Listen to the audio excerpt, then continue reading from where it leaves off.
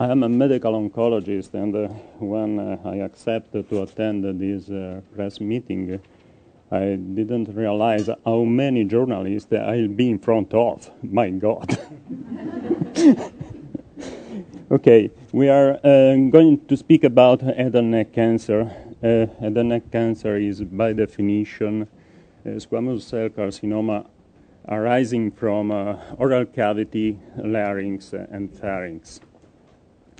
This is a, very devastating disease uh, and uh, is uh, about the fifth um, cancer as a frequency of tumor around the world. Uh, we know that uh, the concomitant use of chemotherapy and radiation improves results of this disease, improving survival and probably the number of cured patients.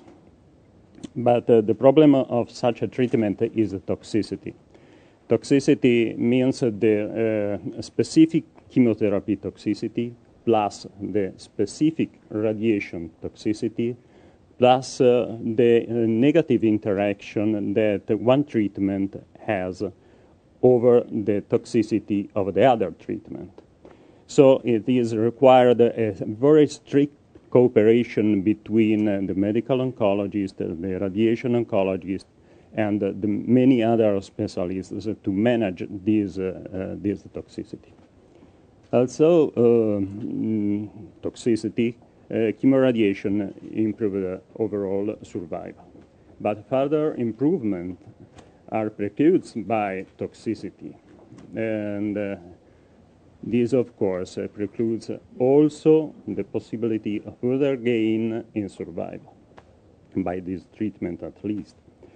Um, a couple of years ago, cetuximab, cetuximab is a target therapy uh, similar to those uh, that Martine Piccart spoke before, cetuximab showed to be able to improve uh, results of radiation without any increase in toxicity. And this uh, is very important. It was the first time that a drug improved uh, uh, radiation without any increase in toxicity. Well, it makes, of course, uh, easy to believe that this drug could be added to chemoradiation because if uh, it has no uh, uh other toxicities, it may be added uh, without the risk of an excess of uh, toxicity to chemoradiation. And the importance of our trial is that actually over, and this is a small trial, is 45 patients.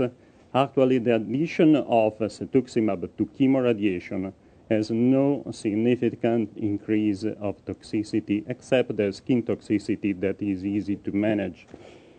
And uh, uh, mm, of course, open the way to further improvements in survival by chemoradiation and target therapies. That's it. Yes, we are moving to a phase three trial, but we avoid uh, one of the drug that we have used for chemo in the chemoradiation program because a negative interaction on the skin between cetuximab and this drug that is 5-fluorouracil.